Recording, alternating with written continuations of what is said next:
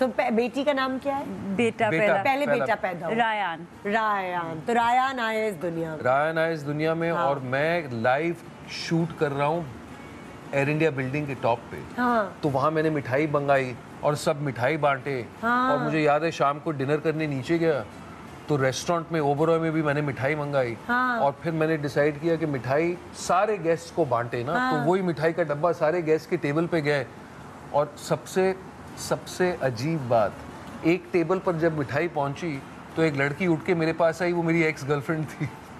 अब देख ले अब देख अल्लाह ताला की शान।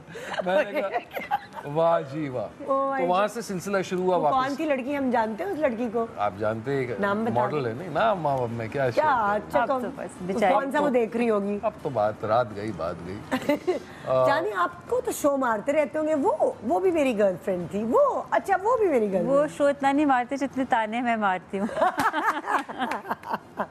यस ये हुई ना बात। है ना? रताने तो सुनने पड़ते हैं। ये तो फिर है ना। ताना क्यों बताया? इसलिए कहते हैं ना कि नहीं बतानी चाहिए बीवी को हर बात। अब बताए ना बताए ये तो सेलिब्रिटी थे हाँ। तो हाँ। आप किसी मैगजीन में खुद पता कर लेंगे। यस यस तो यस बताने की ज़रूरत ही नहीं होती। अच्छा फिर रायान इस दुनिया में है तो रायान किस जैसे हैं? अली जैसे हैं चांदनी जैसे हैं?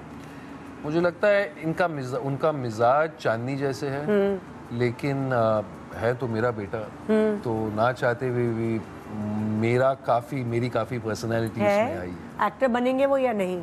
लॉयर इंशाल्लाह। लॉयर खुद ही चूज़ किया उन्होंने ये फ़ील्ड एक्टिंग का जुनून है उनको। बहुत अच्छे एक्टर हैं बहुत अच्छे स्पीकर हैं डिबेटर हैं। लेकिन उन्होंने तय किया कि उनका स्टेज कोर्टरूम होगा।